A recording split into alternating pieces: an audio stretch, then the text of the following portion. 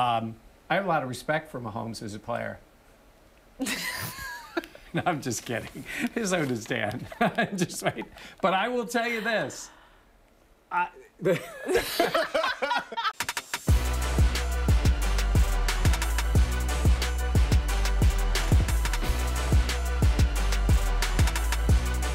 Buffalo Plus, your interactive look at the week in football, brought to you by Connors and Ferris. All right, welcome back to the Buffalo Plus YouTube channel presented by Connors and Ferris. Mike Catalana, Dan Fetes, I am Jenna Cottrell. We are talking about the Bills Steelers Monday afternoon playoff game. Well, happy hour. Ooh, look at that. All right, gentlemen, let's talk about this game. Please be sure to like, comment, and subscribe to the channel. We always appreciate it. Gotcha, host. Mike, I'll start with you. yeah. What are the keys? Look, Josh Allen can be Josh Allen. I Got him. I know it's just you don't want to be saying don't turn the ball over, but hey, Josh, don't turn the ball over. Don't make it easier. Don't allow Pittsburgh to stay in the game. They've had it in that Chargers game, and I know these are regular season games, but when they turned it over, took a bad penalty, all those things, they're down 10 nothing. They gave hope to the other team. Yep. They did it in Foxborough or with the Patriots, excuse me, at home. They give up the opening kickoff for a mm-hmm. touchdown. Yeah. And then they can't capitalize on all these turnovers. They allowed New England to think we're in the game.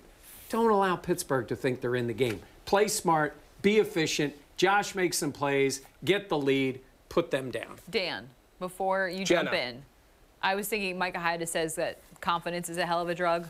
Hope is also a hell of a drug as well. Yeah, and there are some analytics sides that actually can track luck on a, on a team. I'm serious. The Steelers are the luckiest team in the NFL Wait a according minute. to those How metrics. is analytics to track luck? Fumble recoveries, late game turnovers, all of those things. Things what that you about can't. regression to the mean? I don't know what that means. but that being said, the Steelers are a lucky team, and they have always their keys to the season has been hang around late in the fourth quarter and hope TJ Watt has some strip sack fumble and runs it in for a touchdown.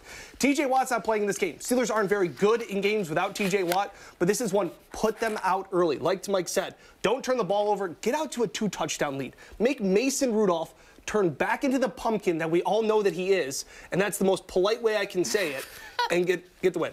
Regression to the mean means when we annoy Jenna and then she yells at us. Everything's got to come back into balance. Yeah. Yes. Uh, TJ Watt, without him Oh, on the yeah. field for the Steelers, Not good. They're one in ten. So there's Yeah. something with that, Mike. Yeah, there's there's no question that hurts them. Not just because he's a dominant player, but he will take the ball from you. Like he He's a makes game those wrecker. He can be. He is a game wrecker. He's Him one of the best there- offensive players. Yeah, look, we can talk all about Cam Heyward. There's other guys on that team. Minkah Fitzpatrick is the kind of guy, Mm-hmm. and he's done that before. He mm-hmm. did that in a Bengals game this year, where he just took the ball away like Yep. three times in the game. I think he blocked a kick. Those are the type of players, but it really starts up front with Watt. It is a big break for the Bills that he's not playing. All right. What are your predictions, Dan? I'll start with you. I think this game is still, while the weather will be better, I'll be on the sidelines, so we know it'll be crappy weather to Yeah. some respects. Still supposed to be Poor cold, Daniel. still supposed to be windy, but I still think that Josh, this, the game getting pushed back, which is absolutely the right decision. It is about getting to the game. It is not about actual play on the field. Public safety. Yes, the Bills had a dome, they'd still be playing it tomorrow. Mm-hmm. That being said, I think this does give them the advantage in the passing game. I think the conditions will be s- not as horrendous, not impossible. And I think because of that, I think it will allow the Bills to have a passing game. And because of that, I think the Bills, I'm not really concerned about the win. I think it's 23 12, something like that to get the win. Yeah, I, I- look, I think the Bills, again, are the better team, and I think they're going to win the game. I have a 21 13 Buffalo to win the football game. I think this team right now can beat you in multiple ways. Yep. The one mm-hmm. way they can beat themselves is by giving the football up. I think they recognize that. I will say one thing about the Steelers. They really don't give the ball up much. Rudolph has not done that, mm-hmm. and Najee Harris runs the ball, feels like a million times, and doesn't put the ball on the ground. So I don't think that's the way they're going to play. I think they're going to play their game and see if they can last.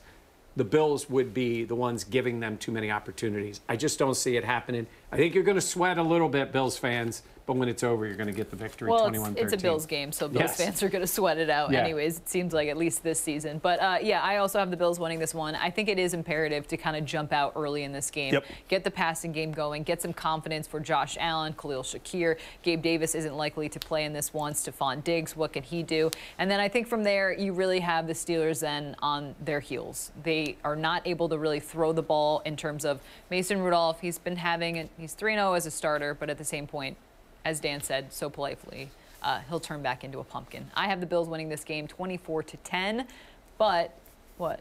No, I just, I think it's worth having a discussion about Mason Rudolph. Okay. Okay.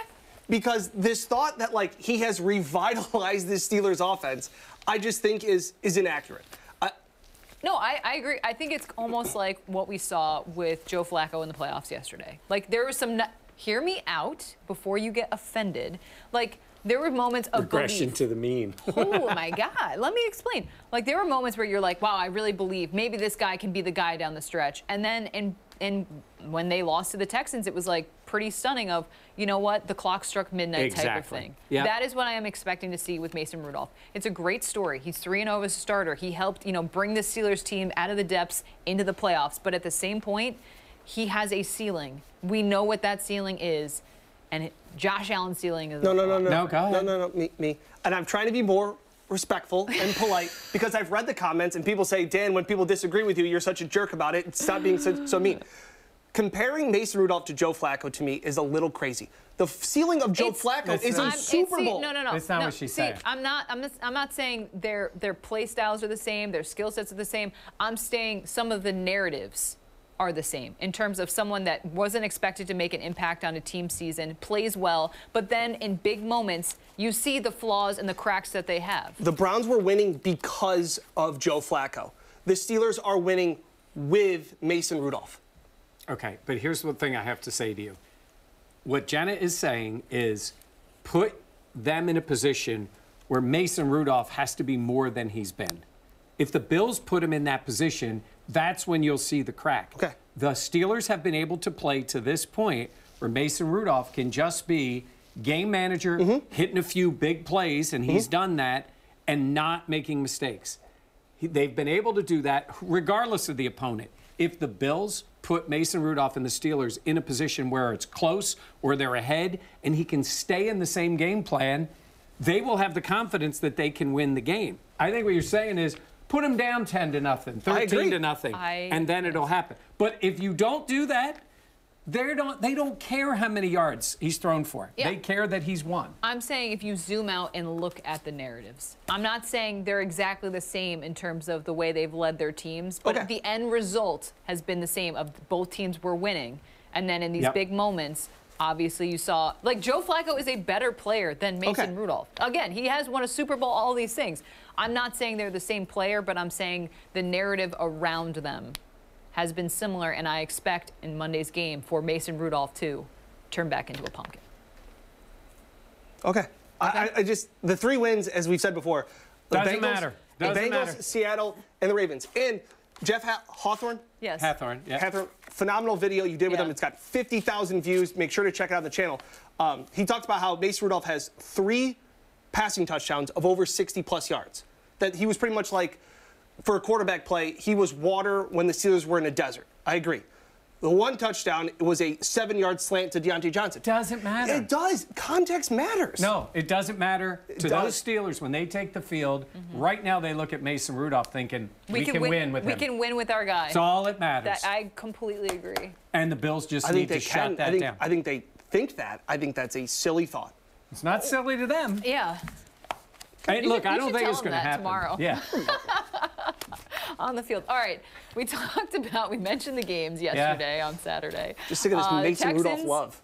The te- It's just respect for a guy who's won games Yeah. in the when they needed them to win. but I expect for Mason Rudolph to show that he is Mason Rudolph and him Yeah. to come back down to. You're right. I You're know, 100% I- right. like- We're on the I- same page, I think. Yeah, yeah, I don't think we are. I don't think It's we're on just the same different book. levels of. It's just different levels of. You're applauding more of his play the last three games, and I'm more skeptical about the context of the games. No, I'm. I, I agree with you on the context. I'm saying is with Jenna, it doesn't matter. The Steelers go out there going, hey, we can win. The Steelers aren't a very good team. They're good But enough they're to make the it in the playoffs. playoffs. They made it. I, I hear you. Like, it's not like they were lighting the world on fire, but there's something to be said for a team that makes it to the playoffs when at one point in the season, similar to the Bills, it looked like all hope was lost. Okay. Okay. All right. We talked about the games going on on Saturday, the Texans beating the crap out of the, the Yeah. Browns. I want and to face then- Houston. and Houston scares me, but obviously for the Bills, the Chiefs winning that game against the Dolphins, if Buffalo were to win against the Steelers, that would mean for the first time in his career, Patrick Mahomes would be playing a road playoff game.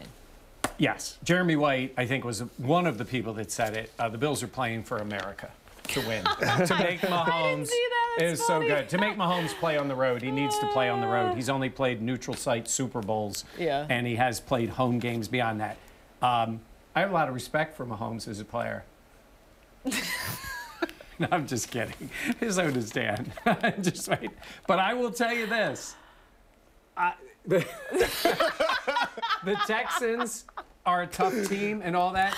And I'm with you guys. If they would have ended up playing the Texans, like that's a team that has nothing to worry about. They're It's playing found- with house money, money, for them, for and they're they're good and Yeah. confident. I'll say this again after the game, is depending on how it goes for the Bills. But if the Bills win, I have a ton of confidence against them against the Chiefs in that game. They are the better team with this year, the better offense, better quarterback, and are better coached all around. I like them a lot against the Chiefs. I think the great Nick Wright, you know, big Buffalo Plus Yes. subscriber, all No. those things. should be a Buffalo Plus said- subscriber. he was talking about how if the Chiefs win, it'll be a little bit of an overreaction. Yes, in those conditions, those elements, in, in Andy Reid's frozen snot mustache, Oh, it was so just good. disgusting. So all of those good. things.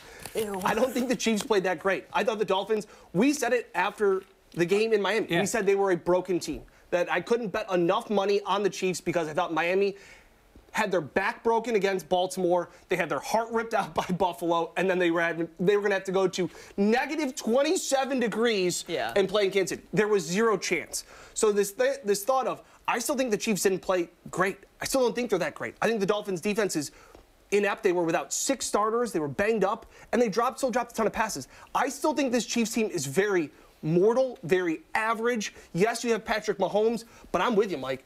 I didn't walk away from that game going, "Oh man, those look at the Chiefs. Here come the playoff Chiefs that we've seen before." I thought this is the Chiefs team that we've seen all year Yeah. that looks very flawed. I, I, I think two things. One, I think it's good for if the Bills were to win that, that the Chiefs are getting this nod from the media, Oh, yeah. from the, the narrative of like, oh, they're back, they've done it. Maybe they were high flying in the past, but this team can kind of grind it out. I thought their defense played well against the Dolphins, but we talked about it after the Dolphins game when the Bills beat them to get the AFC East. It was a shot Dolphins team going then on the road in the cold. So. I will say this. Um, it's a different thing for them to go on the road. Maybe they'll have they'll have a lot to prove if they end up playing Buffalo. Pacheco on the field is a big difference maker. Mm-hmm. Massive. He he really helps them a lot. Yeah. Rice is playing well. Yeah. And Kelce is a Taylor Swift coming to Highmark Stadium would be something. yeah. I don't know. That would be something. Yeah, would be something. But I'm still saying this: that defense is really good. All those things. I just think the Bills match up well with that. Yep, I agree. I like them in that game, but that's a to game get away. yeah to get there. I, I, I don't know if we talked about this. I would. This, this goes back to Mason Rudolph for a second. Hang on. Sell, Circling back. sell out against the run. Sell out to have to stop Najee Harris. Uh, and and Jaylen Warren. I, I, they have run the ball more than any team in the NFL. They are going to challenge the Bills physically. DaQuan Jones said this week it is a simple mindset as a man whooping another man. That's what you have to go in. They've run the ball 85 times the last two weeks. It was in tough conditions both times. That's what they want to do. Sell out. Taron Johnson, Micah Hyde, Jordan Poyer. Make Mason Rudolph make a big boy throw and Yeah, beat you. I'm with you. How did we get back here? I don't know. He wanted to. He wanted Yeah, I to. just wanted to get one more point in. like, wow, okay, whatever. Uh-huh. All right, for Mason Rudolph Hold on. and I'm, ha- I'm holding up the cup that says Dan was wrong. yeah, which you can get on the Yeah. Buffalo Plus store, buffaloplusstore.com. All right, for Dan Fetes. Thanks, Rusty. Yes, our director, our producer, Melody. Yeah. Uh, Dan, Dan, Mike, I'm Jenna. Please be sure to like, comment, and subscribe. We'll have plenty of post-game coverage from Bills Steelers. People like it when we walk off and just leave you. You a walk yeah, off. it's whatever. Just Okay, keep we'll talking. See you. Just check it out. Thanks.